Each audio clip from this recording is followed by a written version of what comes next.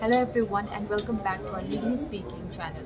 Today we would like to apprise you that a petition has been filed in the Supreme Court challenging the validity of the Colonial Era Sharia Act of 1937 in matters of marriage, divorce and succession among Muslims.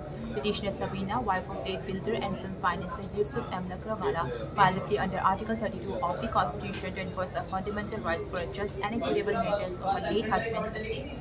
Yusuf Lakdawala passed away while in jail on September 9, 2021. Sabina contends that her rights were denied under the Muslim Personal Law Sharia Application Act of 19 1937. The petition seeks a declaration that widows, daughters, and mothers of Muslims who die intestate are entitled to an equitable share of their estates, properties, and assets similar to other communities such as Hindus, Christians, and Parsis.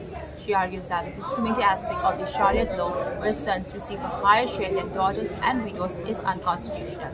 In her case, the son's share was 35%, while hers was only 12.5%. The plea asserts entitlement to an equitable share as provided in personal laws of other communities. Sabina, who also files a partition suit, alleges that her in-laws invoked a Sharia law to claim she was entitled to only 12.5% of her late husband's estates, while her stepson and two stepdaughters would receive 35% each. She asserts that her marriage in 2007 was based on the understanding that she would own half of the estates, with the remaining 50% in the event of her husband's death. So that's a story from the Supreme Court. For more legal news, stay tuned to our channel.